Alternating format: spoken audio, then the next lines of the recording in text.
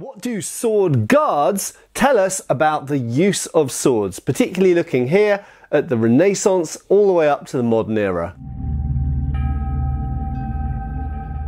Folks, Matt here, Schola Gladiatoria. Now this is part two of a massive video and if you haven't seen part one yet, I deal with everything up to about the year 1500, so up to the 15th century in the previous video. So make sure you check out that. I'll put the link below.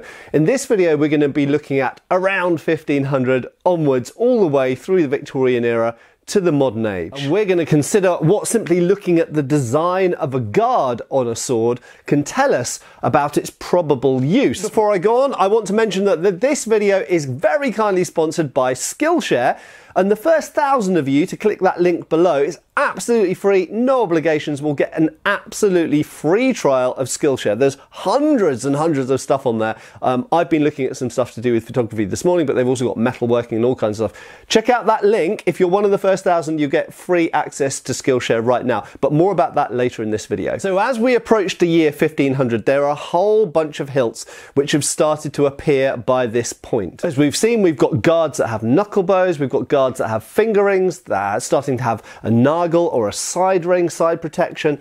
And so hilts, uh, guards in specific, are starting to get increasingly more complex. But one of the most common types of guard that we see at this period, most popular, and is going to be growing and becoming even more important as it develops with time uh, in coming decades, is the essentially we could call it a side sword hilt. That is a hilt which has finger rings a cross guard, sometimes a knuckle bow. So by the time we start to get to these, what I refer to as complex hilts, we've got finger rings, we've got side rings, we've got a knuckle bow.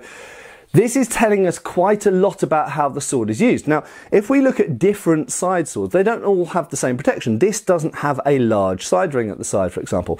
Many of them don't have a knuckle bow. And these can tell us subtle things about the, how that particular sword was intended by its owner or creator to be used. So some of them, for example, might be from a system which is held with the hand lower and with the hand more retracted and closer to the bottom, um, lower down, further away from the opponent, something like Viggiani. And if we look at Viggiani or Dall'Agocchie, there's, there's more um, parallels to earlier systems, I would say, in general, uh, even Marozzo as well. So in those systems, because you don't have a huge amount of hand protection, and you might be giving more cuts. You maybe don't need certain things on the handguard so much, okay? But as we get into the rapier age, which is very much, uh, there's a crossover here, and side swords and rapiers exist at the same time, and you could say are the same swords, they're just different uh, parts of the spectrum. Then again, and this is actually a recreation of a 17th century sword, but it's got a hilt of swept hilt that's quite similar to some 16th century ones. We can start to see hilts like this provide a lot of protection, but there's certain things they don't do. Now, if we contrast this, now I've done a recent video, so I won't repeat everything I said in that. But if we contrast, for example, with the Spanish or Southern Italian cup hilt, you can clearly see that the swept hilt, and these are completely contemporary. These were these designs were around exactly the same time in the 17th century. You can see that the cup hilt has a very different emphasis to the swept hilt. They both provide good levels of hand protection compared to all the swords we're looking at here. However, the Spanish cup hilt has very long crossguard and it has a cup hilt.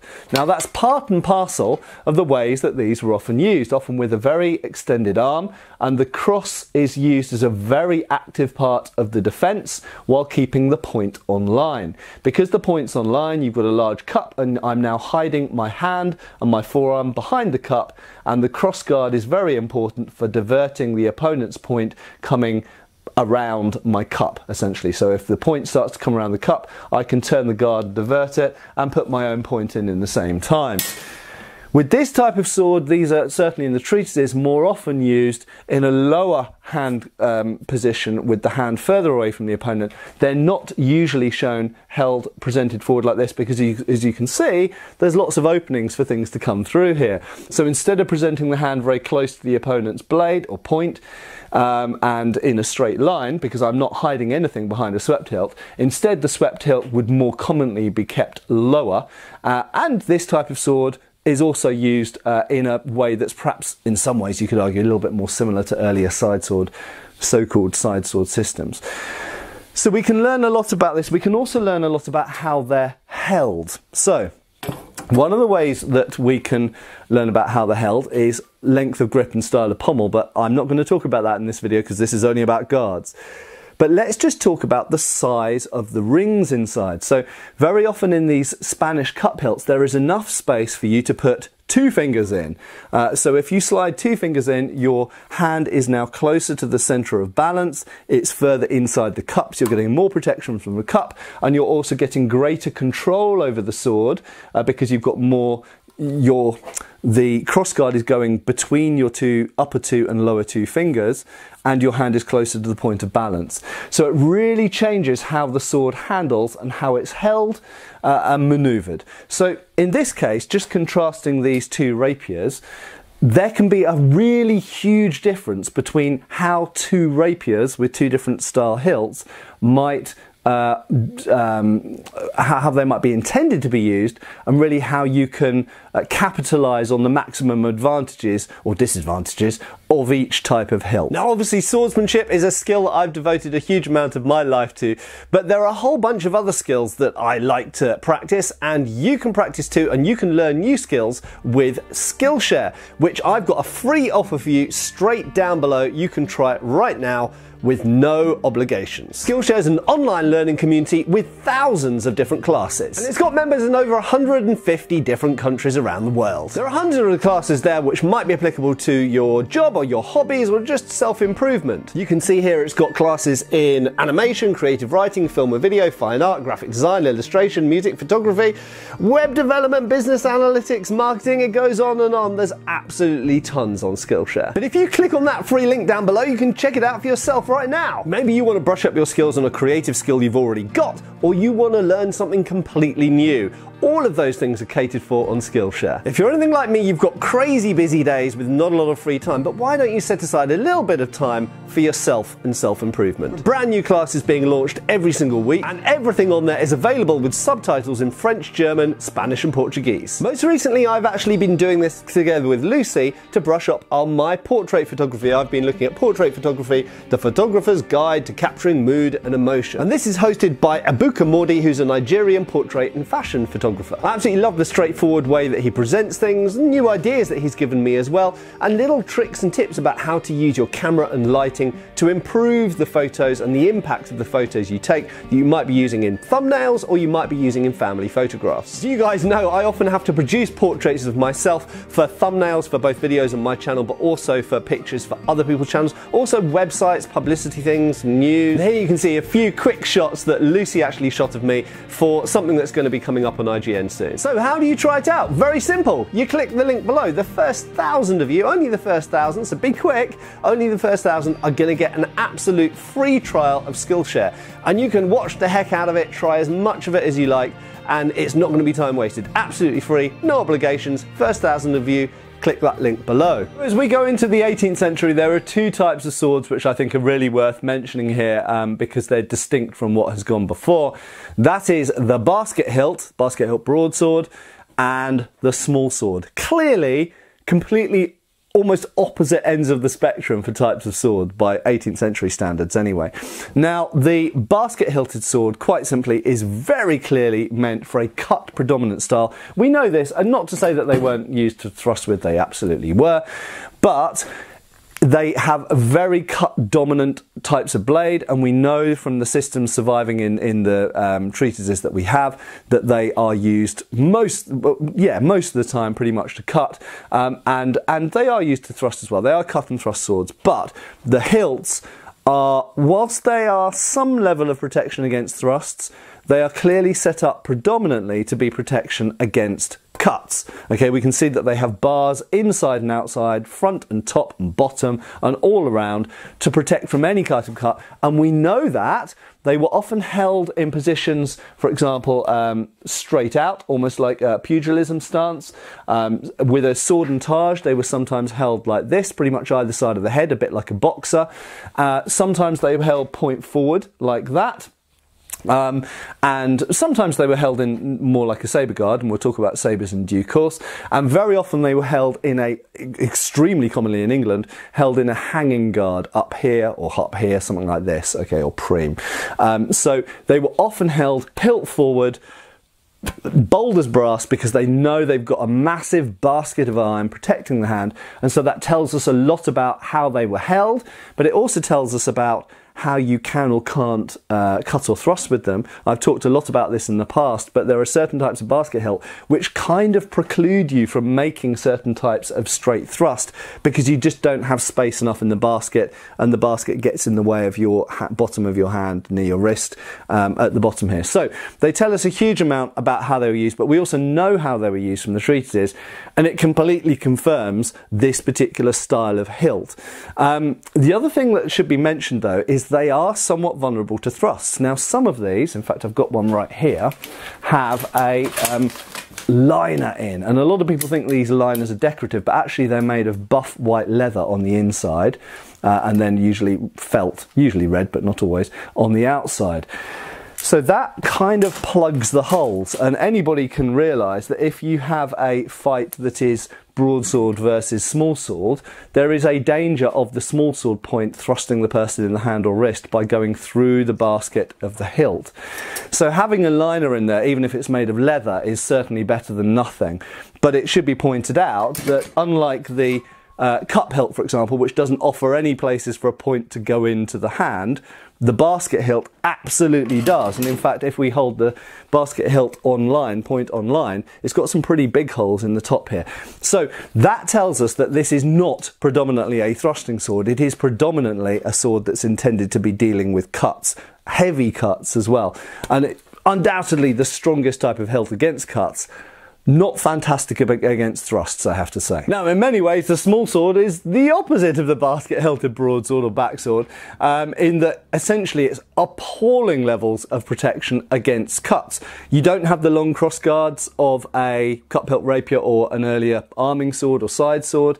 Uh, you've got a very flimsy knuckle bow, and I'll talk about the knuckle bow in a second. You've got a pair of finger rings, so that tells us something about the use. It's obviously a thrust-centric sword.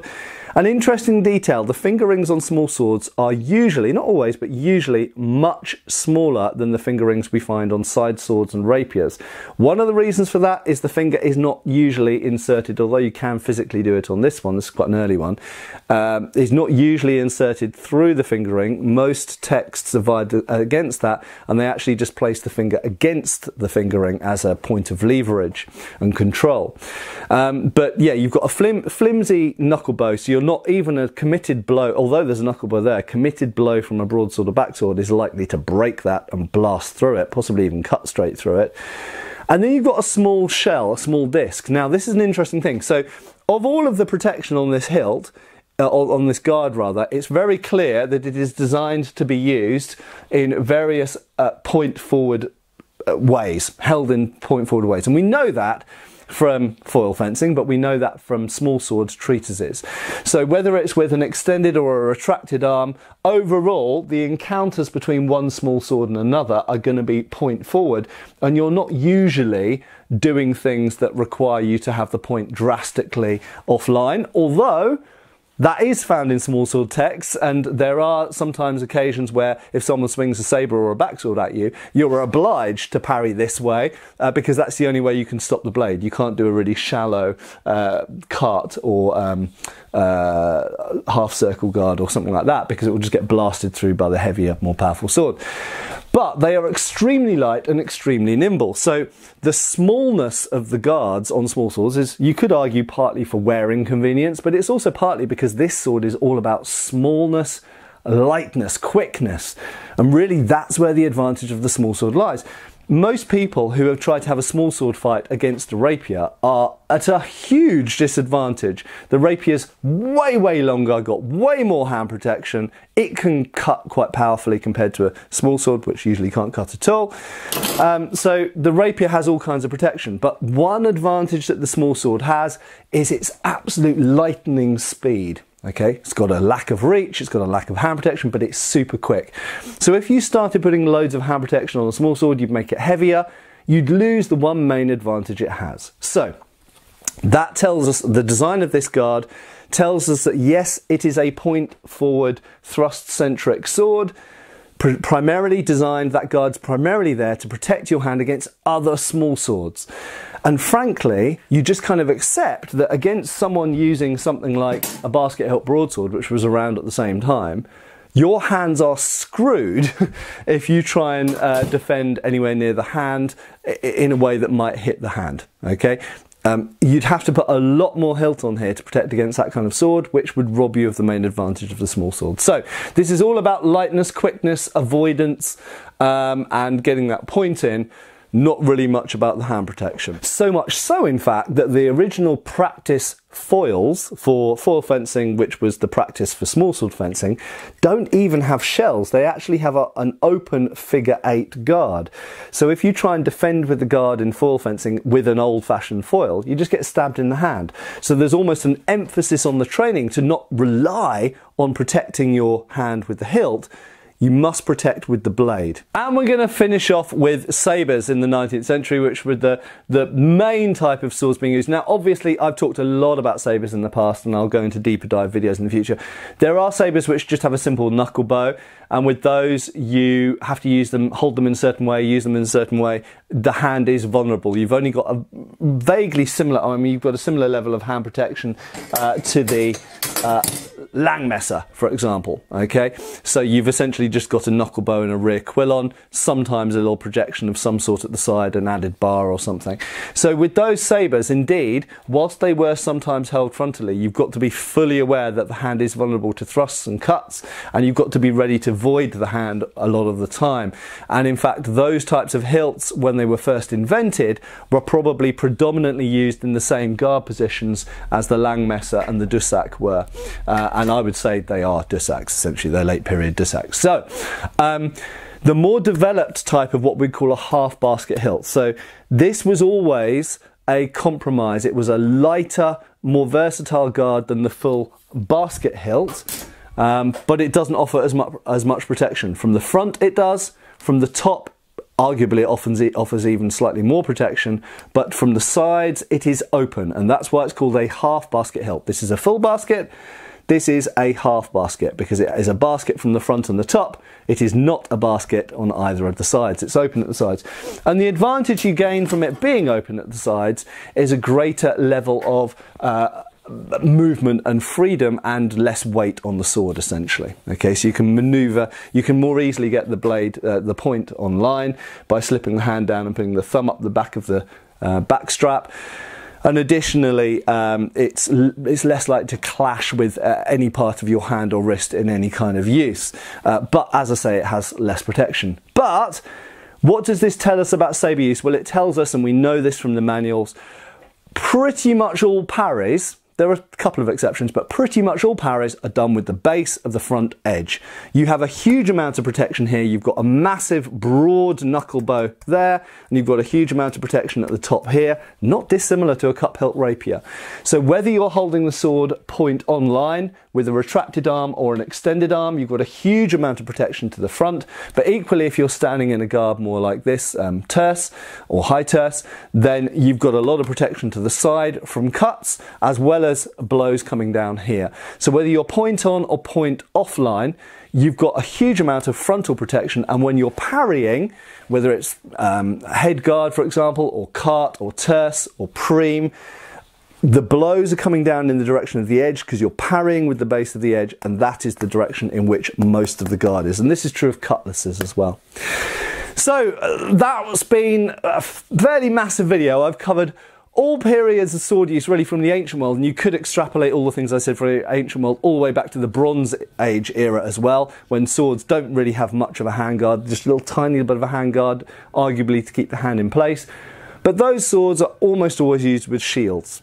As we come into the medieval period, crossguards get longer, then gradually crossguards get enhanced with uh, finger rings, side rings or side nagels or shells, knuckle bows, and then gradually the bars get added. That becomes the rapier. Then we got the cup hilt, where essentially the cup replaces a lot of the bars and covers the area more completely.